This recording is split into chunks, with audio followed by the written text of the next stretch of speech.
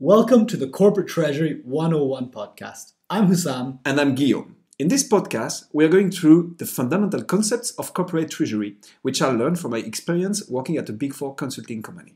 And he'll explain it in a way that someone like me who knows nothing about the topic can understand. We hope you enjoy the episode.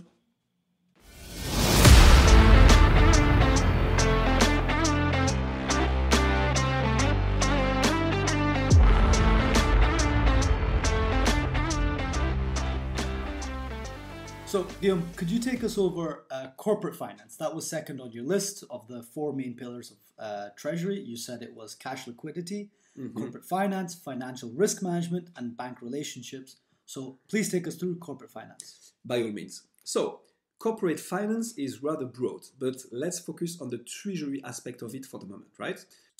So, corporate finance in Treasury could also be said as funding and investment management.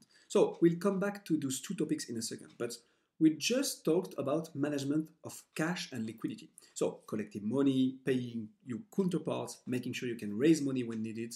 This is rather short term, right? Now let's take a look at the long term. Funding, for instance. So how does it work when you want to make a huge investment? For instance, buying a building to tra- transform it into a store or building a new factory. This obviously requires important amount of money, right? That you hardly have on your bank account. So you'll need to find money to finance it. We call this funding. Now, investments part of the corporate finance. Let's take the other way around. You have, for some reasons, important amount of cash, of money, but you don't have an important investment to make. So you have cash that you are, you are just not using. And you want to invest it because cash can bring more cash, right? This is the very basic principle of interest, for instance. So the banks are willing to lend you money because you pay interest on it. They earn money thanks to money. In corporate treasury, you want to make sure that you can fund your activity and or business. And if you have a lot of cash, you want to make sure that it brings you as much additional cash as possible. Okay. Could you give an example of each one of those? One for funding, perhaps, and one for investment? Absolutely. So let's say I'm a car manufacturer, right? Um, business is going quite good lately and I want to expand it in Asia. But my current factories are producing at maximum capacities already and I'm selling all my cars. So I need to build a new one. This is, so to say, a huge investment and I need to find a way to fund my factory. There are multiple ways to do so. Um, asking your bank, issuing new shares on the market if you're a public company, find private investors, etc.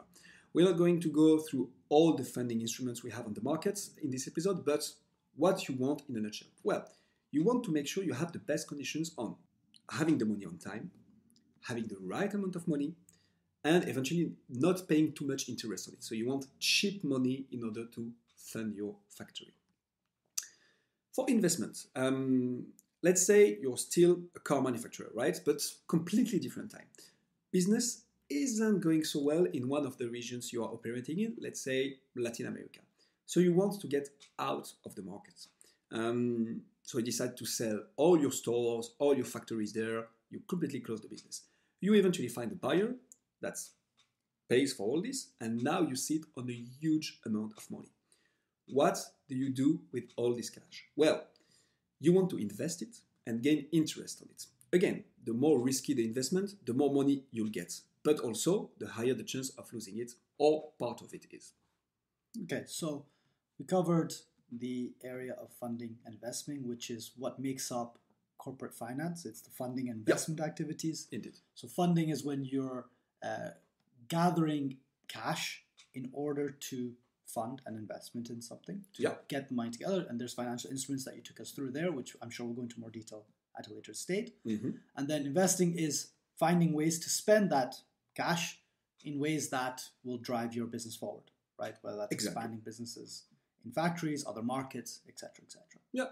Okay. Very Absolutely. clear.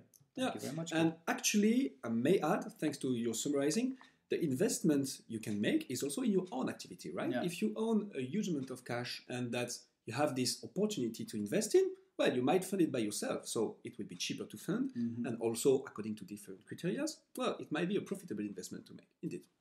Very clear.